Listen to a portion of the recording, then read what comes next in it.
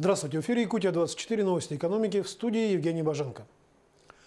Изменились правила федерального субсидирования региональных авиаперевозок. Соответствующее постановление подписал глава федерального правительства Дмитрий Медведев. А в основу документа вошло предложение Якутии о сквозном пассажирском тарифе из труднодоступных населенных пунктов дальневосточного региона в центральные города страны с промежуточной посадкой в аэропорту Якутска. В новой редакции правил четко прописана возможность осуществлять стыковочные рейсы, связывая внутренние и межрегиональные направления в один маршрут с заменой воздушного судна в Якутске.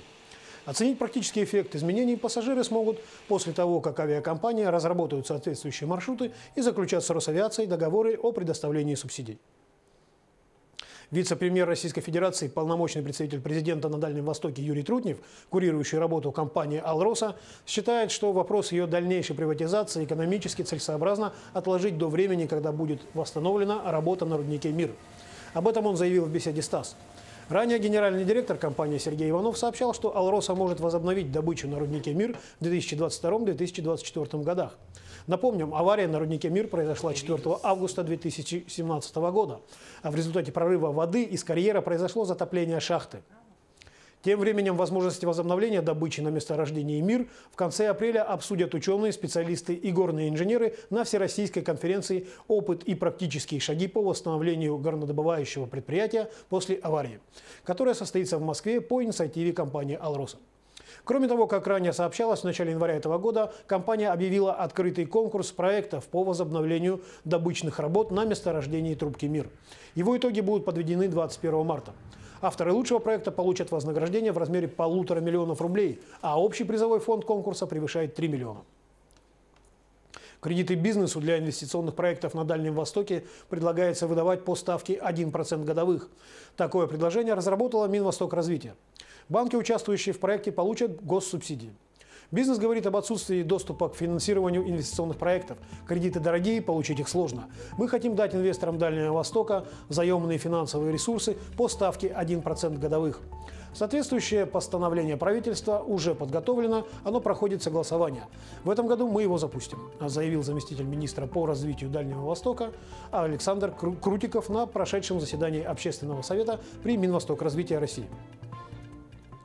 Проект Министерства инвестиционного развития Якутии «Институт бизнес-наставников в предпринимательстве» вошел в шорт-лист первого всероссийского конкурса «Лучшие практики наставничества», который проводит Агентство стратегических инициатив. Более 4 тысяч заявок было подано для участия в конкурсе. Среди них 307 проектов было заявлено в номинации «Наставничество в бизнесе и в предпринимательстве». В ходе ре реализации республиканского проекта, как отметил глава министерства Антон Сафронов, его участниками стали более полутора тысяч человек. Модель позволяет привлекать в наставничество максимальное количество участников.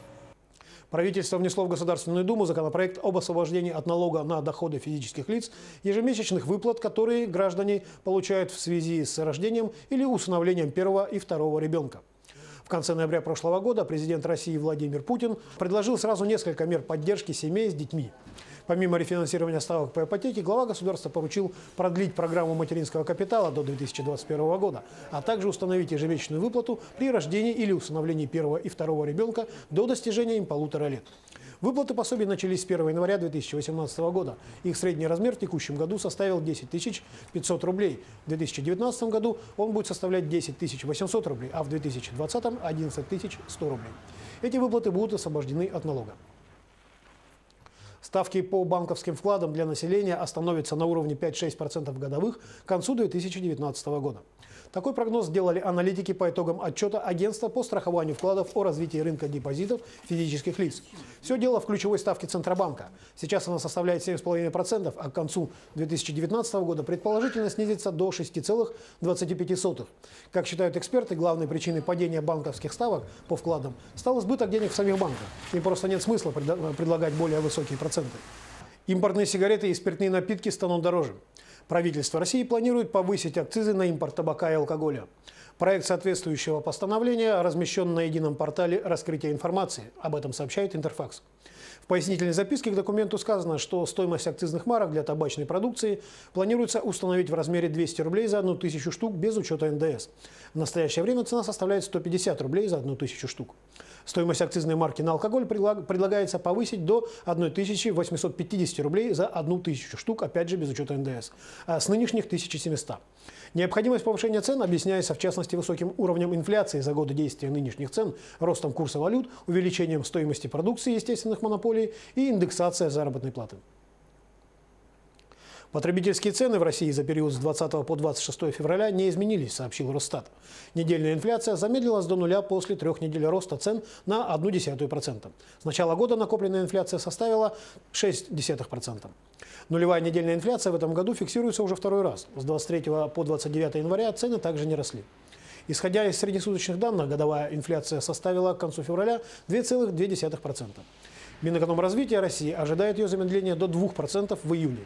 А по итогам 2018 года Министерство и Центробанк России прогнозируют рост цен менее чем на 4%. Курс доллара США обновил минимум к рублю с апреля 2015 года. К открытию торгов на московской бирже стоимость американской валюты опускалась ниже 50,5 рублей за доллар при цене нефти выше 67 долларов за баррель. Сейчас доллар немного отыграл падение и стоит чуть более 56 рублей. Нефть 64 рубля 90 копеек. Понижению курсов ведущих мировых валют на российском рынке, как и предполагалось, способствовало решение агентства Standard Poor's после трехлетнего перерыва вернуть России инвестиционный уровень суверенного рейтинга. На этом все. Оставайтесь в курсе экономических событий на Якутия 24.